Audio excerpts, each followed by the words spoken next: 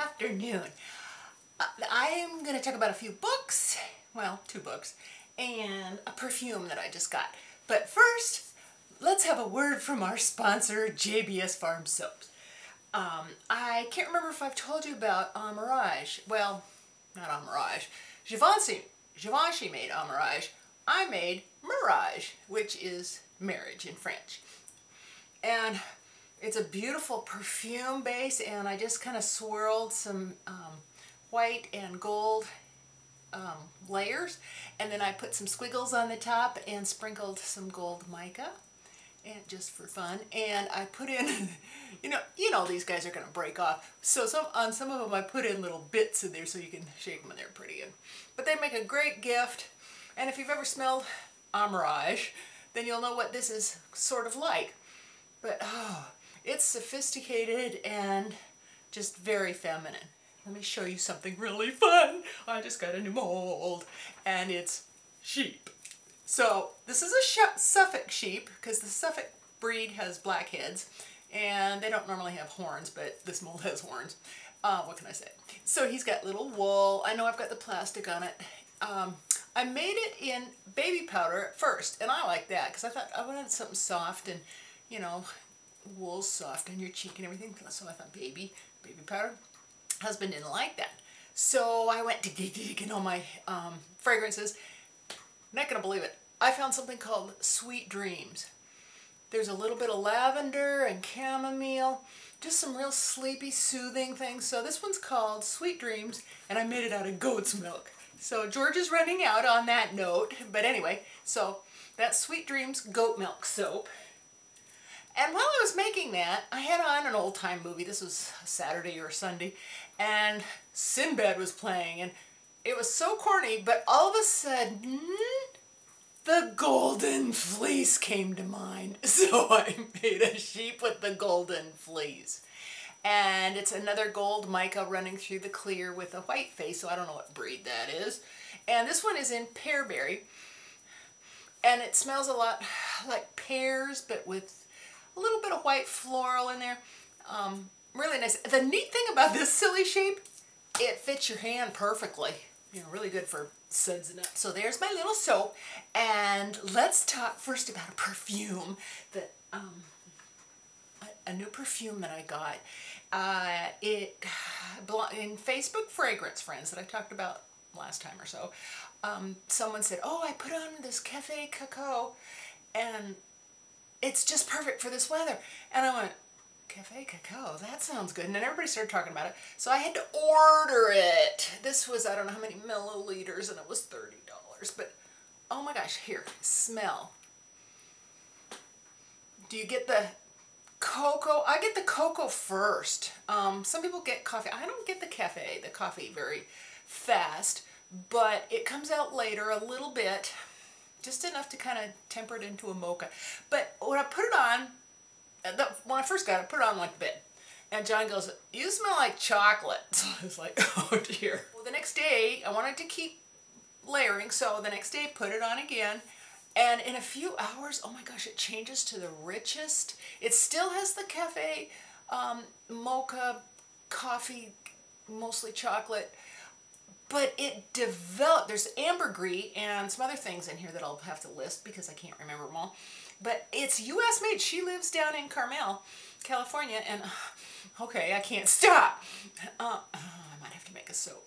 I don't know if I, I can't catch all the nuances. I don't have ambergris and all that, but this is really nice. There's a bigger one for $60, but for my first one, I just wanted a little guy. I will say this about this guy.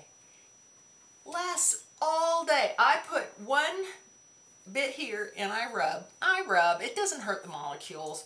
Um, and it lasts all day. By the end, you know, 10 hours, they're still there. It's changed, but it's still there. And besides that, you don't want to get in an elevator and blast everybody out.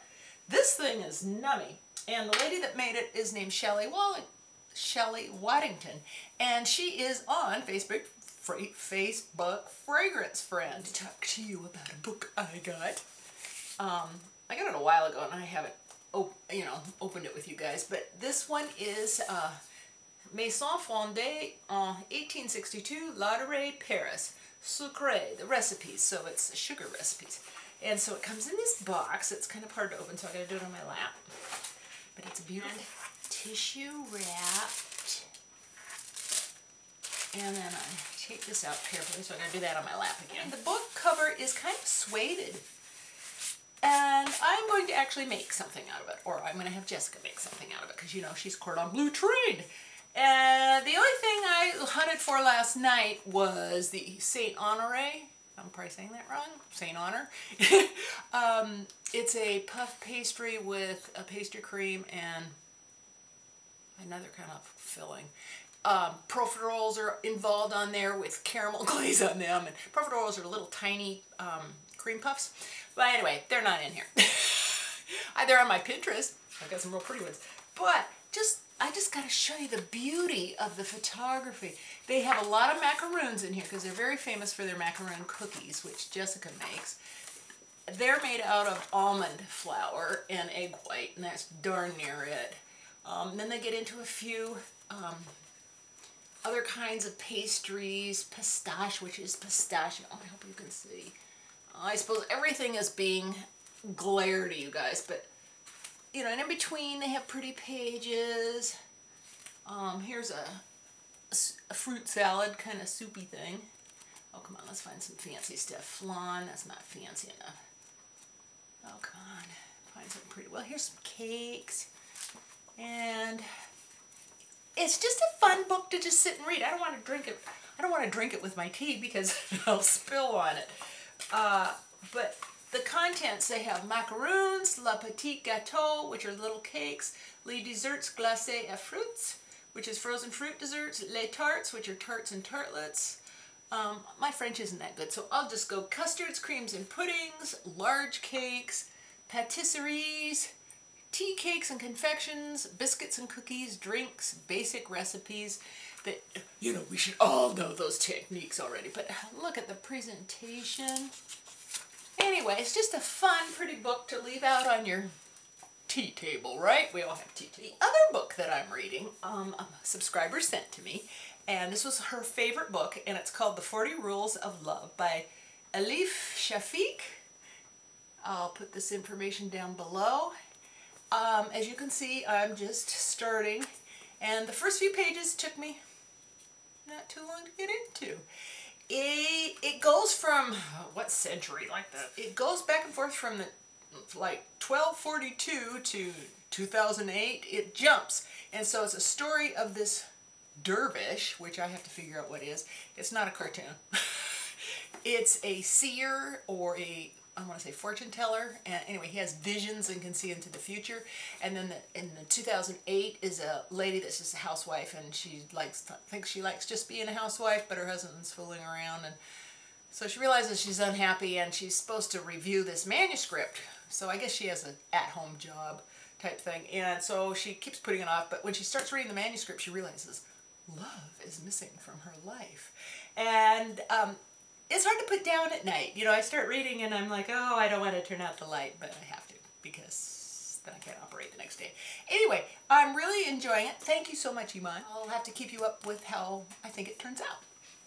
Unless you want to read it for yourself, and I shouldn't tell you. Oh, on the announce, I need to announce with my soaps that I am going to do a uh, holiday fair here locally. So I'm going to turn off my Etsy site Friday through probably Monday because the sale is Saturday and I'll probably be dead Sunday. And so I'll try to turn it back on. So, um, you know, I can make more of these things. And if you, you know, you really want stuff and it's not on the Etsy site, you can just, you know, message me and, and I can make whatever you want. I've been making. Some of my favorite soap scents I'm putting into roller balls, mostly for me, but um, I do make um, a pink sugar for a friend. I stirred, which one? I made this one first, Sands of Morocco, and so it's just a roller ball. But oh, I love musk. It's just a warm, nice for the winter um, musky scent. And I'm just playing with my labels. Here I just kind of put the barn and stuff on. Oh, and this was the next one I made, Vanilla Rock and Roll Perfume Oil. And this is jojoba oil base. Um, the other two are not. I don't know what the stuff was, but it was a base that I bought. Um, anyway, what was I going to say about it? Oh, uh, right now I have three uh, gift bags. Um, it has a rose clay body scrub, a uh, vanilla rock and roll soap, and the vanilla rock and roll is also in the uh, scrub scent. And what's the other thing that's in there? Oh, a hand lotion or body lotion. And so I had, oh, it was so delicious I was making it. I believe this to be a dupe from Lush's American Cream, but I loved it so much that I had to make a perfume out of it. And then in my um, fragrance travels, I found something called Egyptian Dragon. Oh, it's it's on the order of wintry, warm things. There's musk. I wrote down what's on there. I'm going to have to write it down here and annotate. I haven't made any soapy things for it from it yet, so you won't see that yet. But it smelled so good I had to make me a roller ball. Oh, I forgot to tell you. I was going to show you my lipstick. I think it's number nine, but it's Burberry's. Um, I don't know the name. Blush something. But there it is. Thought I need a little bit of color. I know my hair looks terrible. Um, and George is very impatient. He wants to go back outside. It's freezing outside. They are getting the roof section of our barn done so that we can put a sol put solar panels up there. And the lift got stuck in the mud and my husband had to pull him out with his tractor. So maybe I'll put that little clip in here for something fun. I know it's not all makeup, but my life isn't all makeup anymore. So until next time, thank you so much for joining me. I really appreciate you and I really enjoy your comments.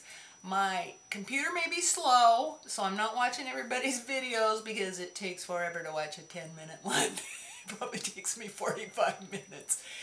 So anyway, thanks for joining me. I appreciate you spending time with me. And until next time, see you later. Bye-bye.